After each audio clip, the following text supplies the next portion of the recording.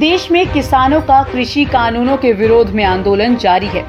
इसी बीच राजस्थान के पूर्व मंत्री, बीजेपी नेता और सैनिक कल्याण बोर्ड के अध्यक्ष रहे प्रेम सिंह बाजोर पर जानलेवा हमला हुआ है। हरियाणा बॉर्डर पर आंदोलन कर रहे कई किसान संगठनों ने पूर्व विधायक का रास्ता रोककर हमला कर दिया। कपड़े फाड़े और साथ ही उनकी गाड़ी के शीशे भी तोड़ दिए। इस दौरान उनके साथ ड्राइवर मनोज सिंह और पीए छोटेलाल मौजूद था।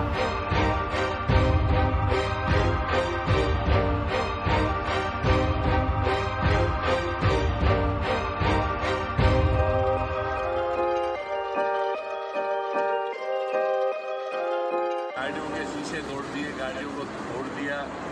पोल भी कई गाड़ियों के तोड़े, हमारी गाड़ी के चारों में से शीशे तोड़ दिए, रट बजा बजा करके।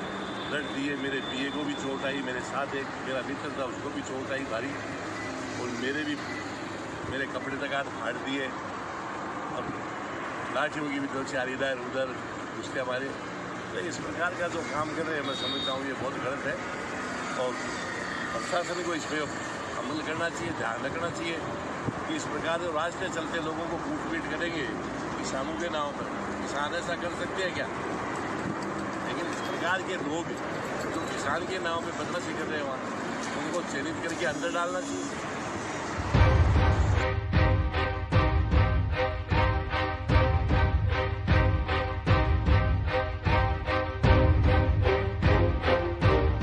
दरअसल जयपुर से दिल्ली जा रहे प्रेम सिंह बाजोर का राजस्थान हरियाणा बॉर्डर पर बैठे किसानों ने विरोध किया।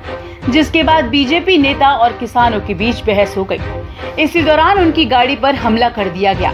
उनके साथ मारपीट कर उनके कपड़े तक फाड़ दिए गए।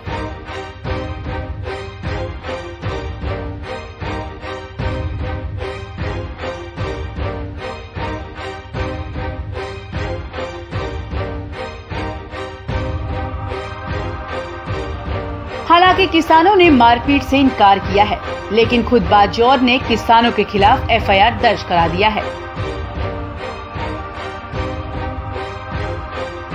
News desk.